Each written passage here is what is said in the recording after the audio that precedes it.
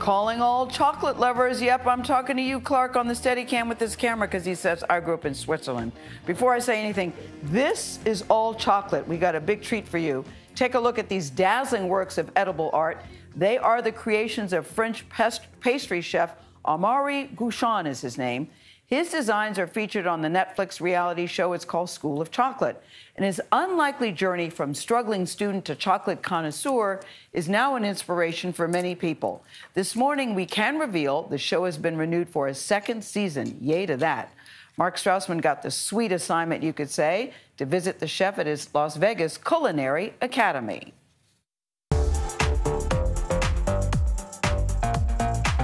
Amaury Guichon He's part Picasso, part Willy Wonka, a celebrated pastry chef becoming world famous for bending chocolate to his will and his imagination. All of these 100% chocolate. Absolutely, yeah. You can actually uh, turn the steering wheel which is also a fun added feature, you know, making it a little bit playful. It's quite amazing. Chocolate is beautiful. Look at his sculpted masterworks. A roaring gorilla, a motorcycle, this elephant. Elaborate, intricate, each of them 100% chocolate. There is uh, 1,500 feathers.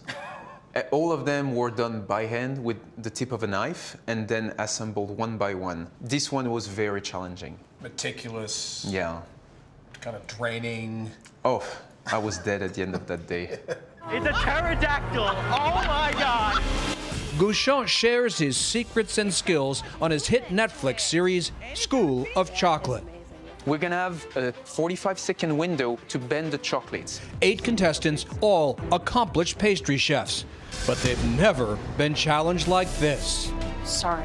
You're really reimagining chocolate. I'm trying to push the boundaries, yeah, of what's doable. Chocolate is so precious, it's so unique. I still learn things about chocolate.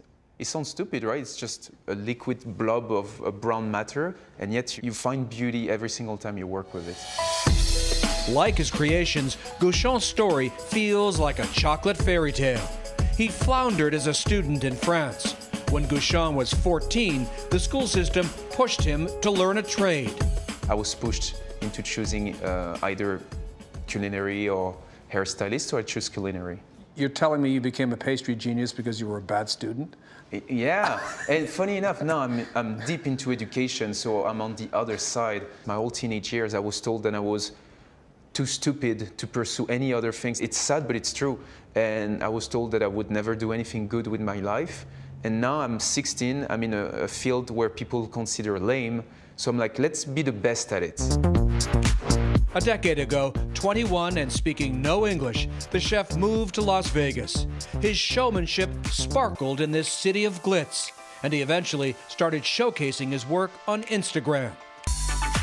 Now 31, the chocolate charmer has more than 6 million followers. His eye popping images are produced by his wife and co CEO, Fiona. That's perfect. This masterwork is called Father Nature. This is my favorite piece. You know, like every piece of art, you know, you look at, it gives you an emotion.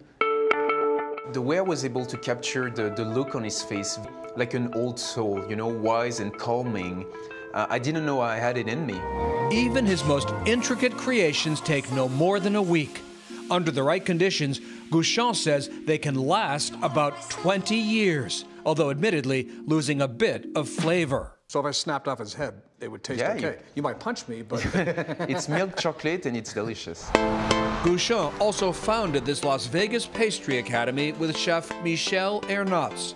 Over 10 weeks, students learned the craft and chemistry behind original desserts. Pastor Mark. He gave me a shot at building something simpler lemon tacos. sorry. Clearly, some people should stay out of the kitchen. But for Guichon, this is the place where a chocolate genius transforms the mundane into the magical. I often say I'm not the best sculptor. You see some clay sculpture or wood carving, people who do some crazy, amazing thing. The only thing that makes me stand out, it's chocolate. Uh, Uh, okay. uh, Oh, Marie very, very impressive. Love the guy. Great backstory. Wish him the most success in the world. But do we I hear a six but. minute piece on chocolate? No one ate any chocolate. Zero chocolate eaten in the whole piece. How does it? I wouldn't want to eat it. I think it's. I I love that. That's what art is: taking something Yes. that's ordinary and mundane and making something beautiful and spectacular. He's done that. That's really cool. I wouldn't want That to eat it. that I wouldn't want to eat it, but I was curious, Tony, to your point about what it tasted like. I was wondering that. Tastes like chocolate. But I so love, I so love the Bar. chef, though. I got caught up in his in his story to be told that you're not going to amount to anything, Yes. that you're worthless. Yes. I mean, it's just another great example of you can't let somebody else define who you are. He's an artist. Eh, Yes. But give me a Hershey bar for, for everyday chocolate. you get one after the show.